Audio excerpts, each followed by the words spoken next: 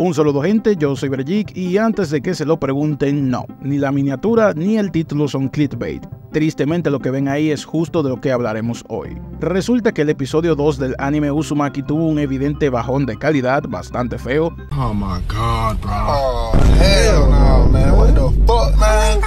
Y lo peor es que yo creo que fue algo completamente planeado. Y no lo digo como un conspiranoico ni para tener vistas, que sí, quiero tener vistas obviamente, así que dejen su poderoso like para ayudar a este humilde canal. Pero sí que tengo mis fundamentos para decir esto y en este video quiero explicárselos. De hecho, cuando escribí este guion, no me había enterado de algo justo antes de grabar que vi en las redes, de un post donde afirman cosas que refuerzan más mi punto, porque sí, en este video lo que les voy a explicar fue antes de conocer ese post, pero ahora la cosa cambia mucho más. Lo voy a poner aquí en pantalla y se los voy a leer también. Esto me lo encontré en Twitter de la página Disgusting Films, aunque ya estoy viendo que está circulando en otras páginas. No sé la, la veracidad de esto, no sé qué tan real sea, pero como lo veo en varios sitios y como está la situación, es muy creíble. Y lo siguiente, lo que dice es lo siguiente. Un productor ejecutivo de Uzumaki dice que la caída en la calidad de la animación se debe a que los engañaron durante la producción y les dieron las siguientes opciones, tres opciones. La A, no terminarlo, no emitir nada y considerarlo una pérdida. La B, simplemente terminar el episodio 1 y dejarlo incompleto. O la C, emitir los cuatro con todos sus defectos, que es lo que parece que está pasando justo ahora. Que sí, ahora también me enteré que eran cuatro episodios, yo pensé que iban a ser más. Pero esto es mucho más serio, porque tan pocos episodios y ya el segundo está mal, eso es muy preocupante. Y miren, el capítulo 2 tampoco es que fuera algo imposible de ver. Tuvo sus escenas perturbadoras y la historia me sigue pareciendo interesante. De hecho, pretendo seguir viendo la serie ya que pues van a ser solo 4 capítulos. Sin embargo, si comparamos el primer episodio con este, la diferencia visual es bastante. Pero lo preocupante aquí no es el episodio en sí, sino la existencia, lo que implica la existencia de este mismo.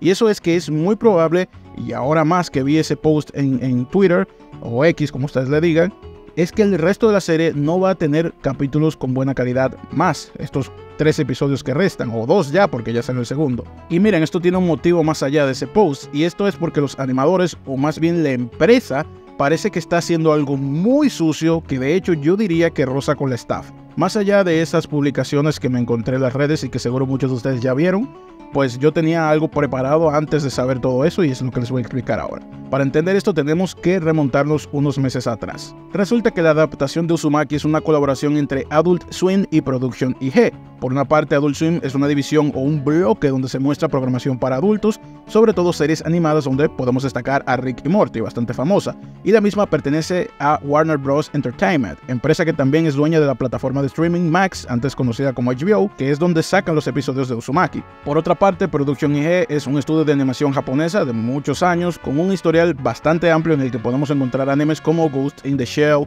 Haikyuu, Psycho Pass o Tengoku Daimakyo todas series con una animación muy buena. Entonces, tomando en cuenta que Warner Bros. es una empresa multimillonaria súper famosa y por su parte Production IG es una casa animadora muy veterana, y siendo que Uzumaki es una obra de culto creada por el aclamado mangaka Junji o sea, muy alabada esta, esta obra, pues lo único que uno podría esperar de este proyecto es una adaptación de altísima calidad.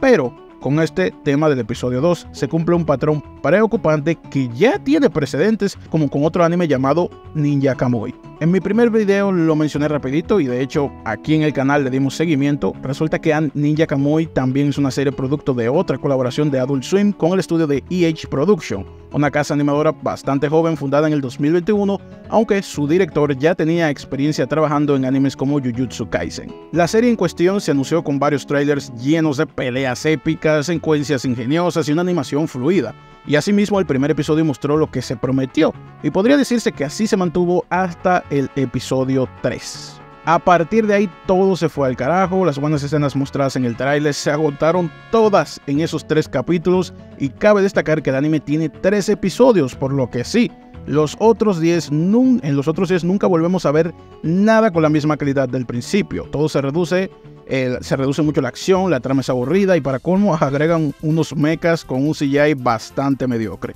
En otras palabras, nos vendieron un producto con una calidad alta tanto en sus trailers como en sus primeros episodios para que luego durante todo el resto de la serie nunca vuelvan a mostrar algo de ese nivel. Lo cual para mí es algo que hicieron muy conscientes y si bien legalmente no es una estafa, sigue siendo una forma sucia de atraer público. Básicamente se esfuerzan con su carta de presentación, te enganchan a la serie y luego hacen el mínimo esfuerzo para que el anime al menos se deje ver y te quedes mirando con la esperanza de que la cosa mejorará en algún episodio. Como nuevamente Uzumaki es un producto de una colaboración de Adult Swim, en mi mente pasó ligeramente la preocupación, es decir, esto yo lo había medio predecido, pero no pensé que ya en el, segundo capítulo tendríamos este bajón. Y tampoco sabía que serían solo cuatro episodios, así que la cosa es peor de lo que yo pensaba.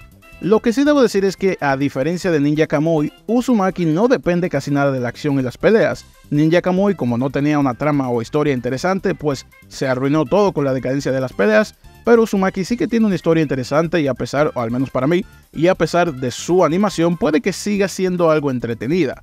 Igual yo espero que las cosas mejoren porque la experiencia sería mucho mejor si se esfuerzan como lo hicieron en el episodio 1, aunque con todo este tema que se está dando en las redes de que los productores fueron engañados, pues bueno, o los animadores, eh, no tengo muchas esperanzas. Me gustaría saber en los comentarios qué opinan ustedes de esta situación. Yo en lo personal creo que está muy mal que las empresas hagan cosas como esta, sobre todo si es una tan grande como Warner Bros. Esta práctica para mí es engañar a tu público, engañar también incluso a sus empleados, a los animadores. Yo soy alguien que ve sus productos legalmente en su plataforma Max y como consumidor que soy, creo que está bien criticar estas cosas. Tanto el público como la obra de Junji Ito, que está alabada, pues merecen respeto. Y nada, mis amigos, no tengo más nada que decir. Si tienen algo que agregar, también pueden ponerlo en los comentarios, algún dato, lo que sea. No olviden dejar ese poderoso like para que este pequeño canal tenga más visualización en la plataforma de YouTube.